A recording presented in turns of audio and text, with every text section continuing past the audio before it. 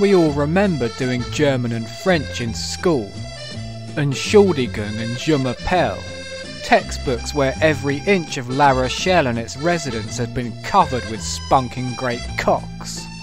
Eating a baguette, are you, old man outside a cafe? Not for much longer. Teachers insisted we'd need it. You're citizens of Europe, free to work and live and love in our EU sister countries. You've got to know the lingo. Most a bloody time that was. All I know is, when I'm DJing, and a sweaty clubgoer who's just been injecting themselves with marijuana in the toilets asks for some German house, they're getting a blast of this.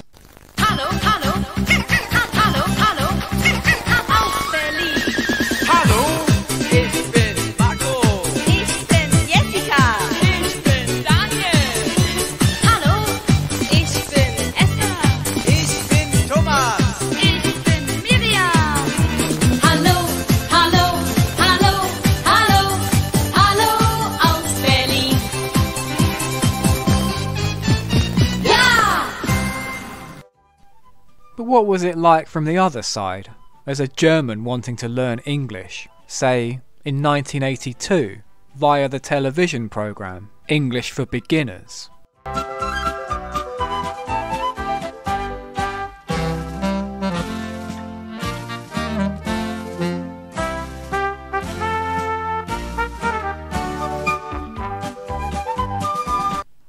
I can't help but feel the choice of image deliberately paints us as a repressed nation of milk toasts.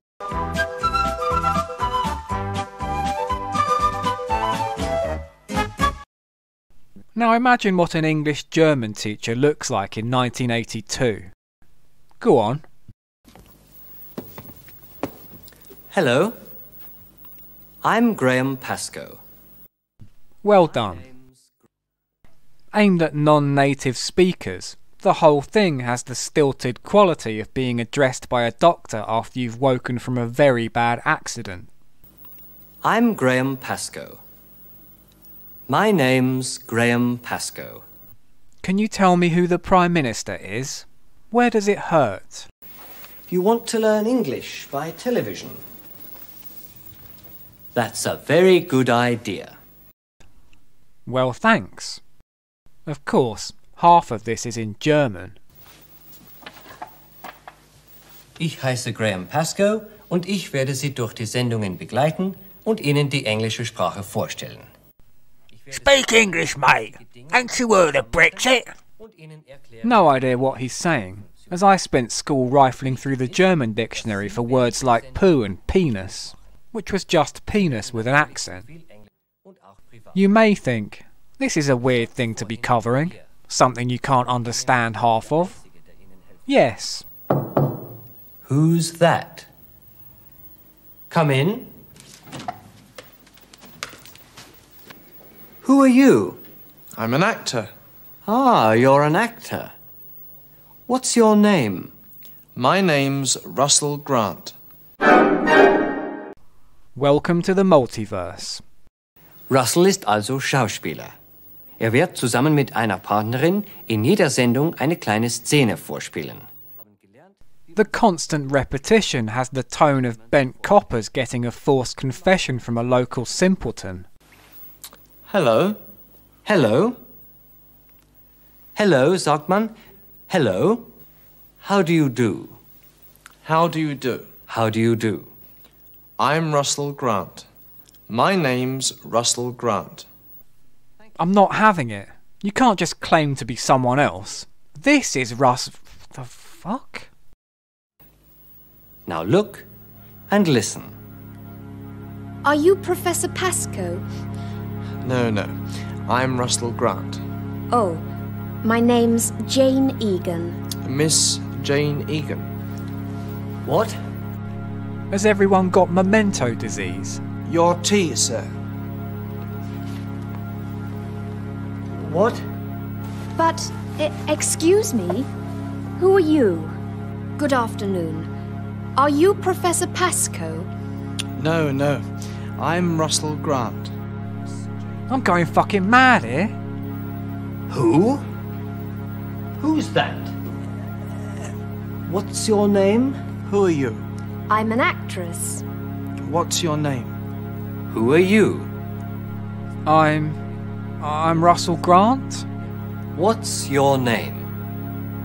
My name's Graham Pascoe.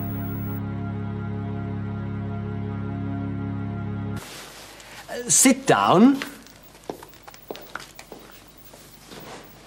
and listen. A, B, C, D. That's hardly going to get the dance floor popping. An example.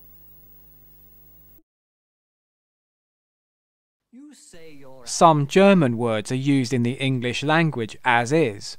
For example, rucksack, delicatessen, and mansplaining. E, F, G. Stop!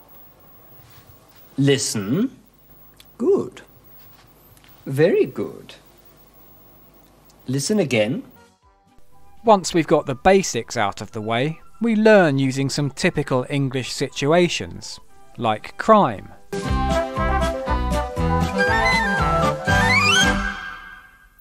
Hello.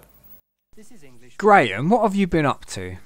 I know you look like one, but you're not, are you? Let's go for a drive. If someone offers you a ride in their car, say no. Another Scotland Yard department deals with calls from the public. If you need help, you dial 999 and a patrol car will arrive in a few minutes. But as this is a German tape, If you need help, you dial. No, no, no! Now, where's Russell? Ah, there he is.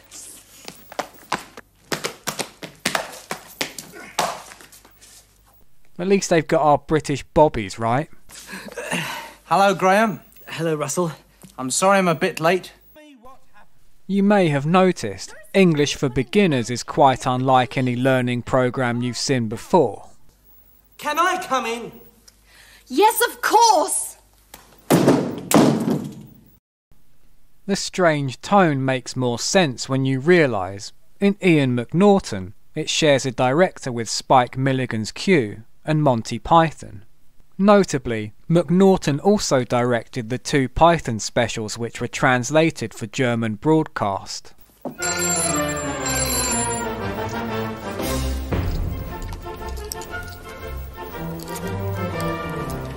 Hello? And I heard this bang! Inside the bank. Inside the bank! Okay. I'm coming.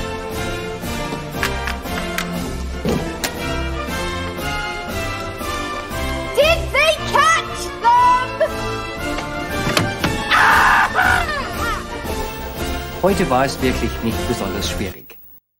Similarly, many of the random phrases, costumes, and even timing are of a somewhat Pythonian bent. What was Jane doing when she heard a loud bang? The hammer isn't in the toolbox. It used to be in the toolbox. What are you getting at exactly? That I took the hammer for some nefarious reason? That I snuck in and took it so I could, oh, I don't know, put it into my bottom? Because if that's what you're implying, Now back to our story. some of these paint a sad picture of humanity in decline. Jane doesn't go to concerts anymore. Jane used to go to concerts. Russell doesn't read books anymore. It used to be a sweet shop, but now it's a private house. Humphrey doesn't smoke a pipe anymore. Nobody plays with frogs. Nothing happened. All this bloody talking is unnecessary. The best communication is with no words at all.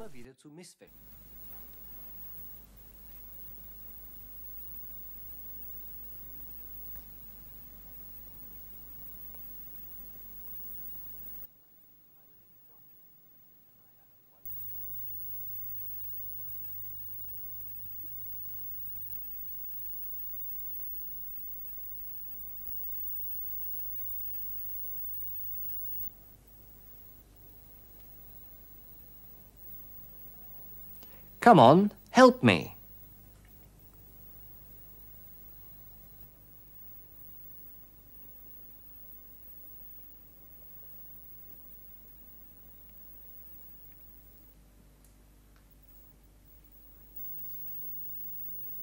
But you can't take it easy when learning, so it's back to the grind.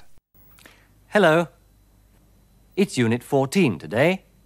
Whose photo is it? Nice tattoo for all the school kids watching. Unfortunately, Graham's struggling again. Oh, dear. What's going on here? Whose hat is this? And what's this? And whose jacket is this? Forget about that. I can hear voices. And is there a more classic comedy bit than this? Come on. With the tatty visuals and overacting, this plays like a dystopian 70s BBC serial about post apocalyptic decay.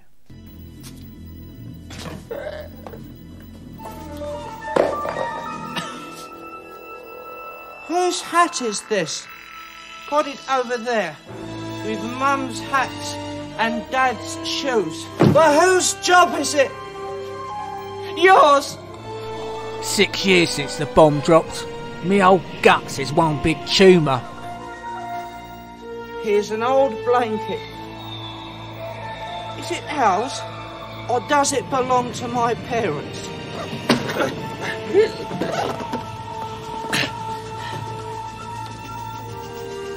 A photograph of a girl? Interesting. It's a picture from the before times, before the sky turned white. Radiation poisoning plays havoc with Graham's already fragile psyche. It's a photo of a very nice girl. Whose girlfriend is it? Whose book's this? It's mine. Whose book is this? It's my book. It belongs to me. When you really love your new car. It's my car. It's mine. What's this? Wet paint? And Humphrey's sitting on that chair? Oh no. Goodbye. Now look and listen. Disney are always harping on about the Mandalorian's ultra realistic digital sets, but English for Beginners was doing it 40 years ago. Hello, Jane. Hello, Graham. Hello, Graham. Hello, Russell. There are Jane and Russell. Hello there. Hello, Graham. Hello. What a view of the castle. Yeah, this is a nice place. Stop. These driving scenes must have been filmed on location, surely. Vin Diesel could slot these straight into his little films. Stop! There's something coming! Ah! Ah!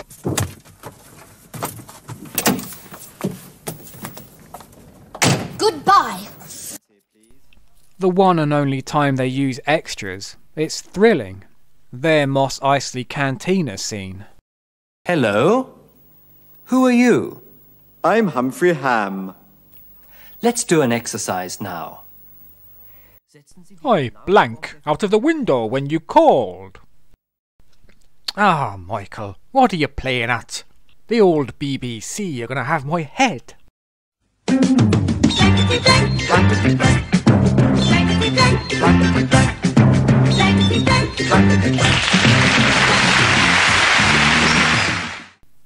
I'll say one thing.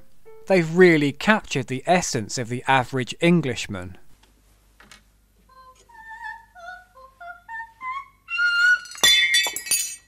Dad! You can buy almost anything at Harrods. They'll arrange a holiday for you or your wedding. I can't even afford the train fare to London. You can hire a Rolls Royce there or buy an elephant. We also get their take on Scotland. Mac in ihrem Namen. Zum Beispiel Macmillan, McNaughton, MacDonald. McFadden. Let's finish with a Scottish song. Look and listen again next time. Goodbye.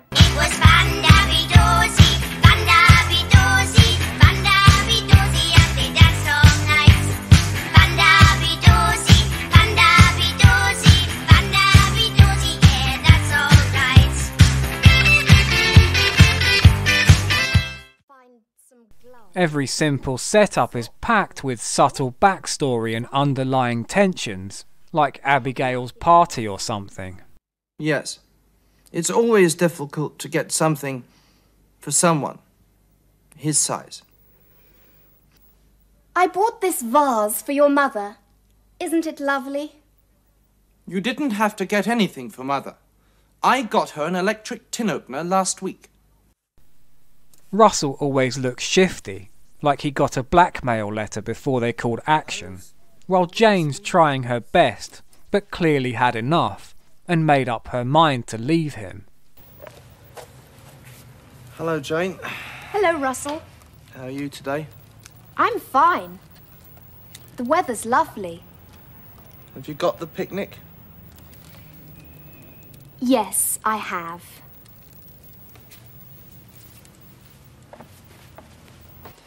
Hurry up, Jane. Imagine being stuck with these two, passive aggressively sniping at each other all day. Are you hungry, Russell? Yes, I am. Aren't there any cheese sandwiches? No. Sorry, there aren't.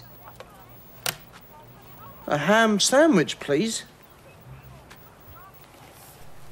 Yeah, I think I might make a move actually. Nice to see you both. Have you got any beer? No, I haven't. What a day! What a day. What a picnic. Some of the phrases are still handy in a modern world, like when you lean over to show your friend something from Facebook. Somebody from my old school. Or after you finally convinced your family to take a look at your YouTube videos. I'm sorry I was so silly. There's even one for a visitor who's asked to use your toilet. There are so many flies. Other times, it's all those questions you lay awake at nights asking yourself. How much time have you got? How many knives are there? Aren't there any cheese sandwiches? And what's that?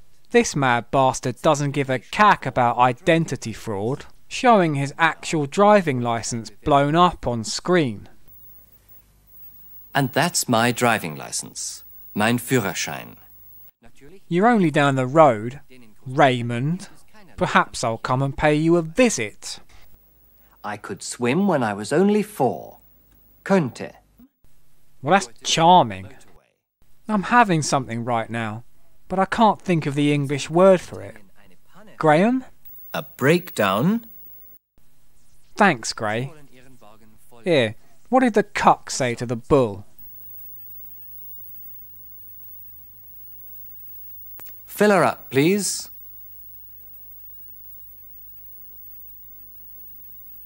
To which he replies, How long can I park here? Come. Came. Well, we've got to stop now. Our time's up. Did you take the photos? Did you have a nice time? shunning the idea that education must be dry and fusty. They're not afraid to go out on a joke. What's that? It's a parking ticket. Oh no. Well, that's all for today. Look and listen again next time. Goodbye. So there we are. English for beginners. I can't lie. It's been nice to sit through some old telly and not have to be on the lookout for bloody Savile and all them lads.